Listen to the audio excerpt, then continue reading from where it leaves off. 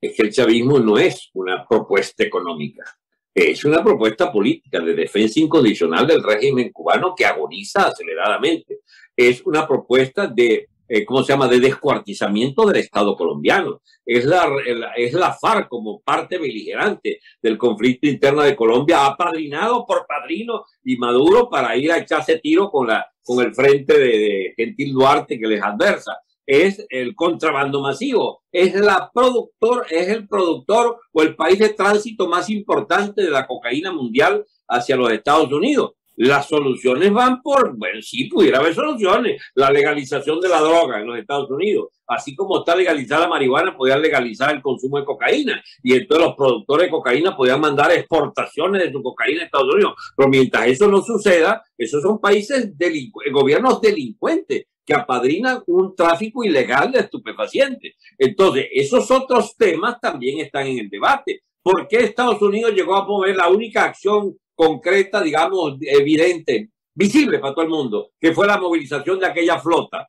¿Cuál era la motivación? La droga, que querían parar el tráfico de droga inmenso y lograron como aminorarlo un poco, pero políticamente aquello no es que se solventó contra Trump, quitaron a Trump cuando iba para la segunda parte del plan, que era no creer en los stories ni en las propuestas del Departamento de Estado, que eran a la larga incompatibles con la permanencia de Maduro en el poder. Ellos querían ir a imponer el, sueño demócrata y el sueño incluso de los paniaguados allí que estaban bajo el ala republicana, el, el y el Story y todo esto. Lo que querían era unas elecciones que Maduro aceptara que, que Leopoldito, Caprilito o el propio Guaidó fueran legales. Bueno, eso no se va a poder, mi amigo, porque eso no es compatible con el proyecto de Maduro, de que ellos quieren ser los que beneficiarios de ese estado político.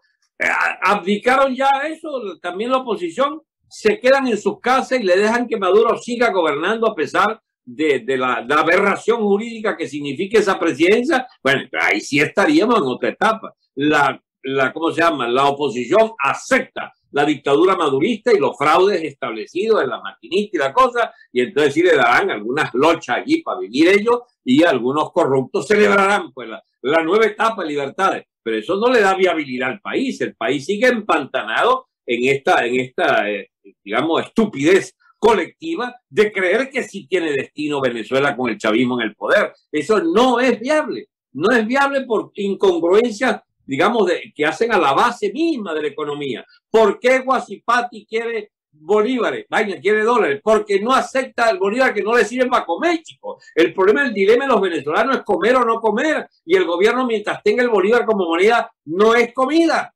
Y quieren es el dólar. Y para asumir el dólar, tienen que haber hecho lo que hizo Ecuador en su buen momento y que el loco de Correa se lo caló, seis, siete años que estuvo allí, que era aceptar el dólar como moneda del Ecuador. Bueno, eso no existe en Venezuela. En Venezuela hay mucho dólar, pero es dólar ilegal, es dólar, es dólar por la libre, qué sé yo, atesoran, logran sacar para el exterior por vía, por, por ventanitas que le da el gobierno a algún segmento minoritario del capital, que por cierto es un capital bastante esmirreado, lo que aún se mantiene en la legalidad, pero y para, además para poder tener sus fortunas en dólares eh, a través de mecanismos ilegales como los que buscaron los bolichicos o el propio, ¿cómo se llama? Eh, Pollo Carvajal y todos estos agentes del narcotráfico. Muy bien, pero sigue en pie el tema.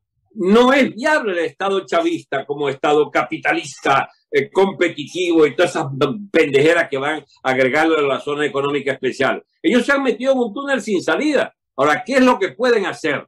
Que sería la gran pregunta que hay que hacer que hay que hacerse con el resto de los venezolanos. Mi amigo, el que, el que quiera sobrevivir en esta rochela tiene derecho y tiene sus representantes. Se llaman Caprilito, Guaidó, Borges, Henry Ramos. Ellos pueden escoger del color que lo quieran. Ahora, Alberto, eh,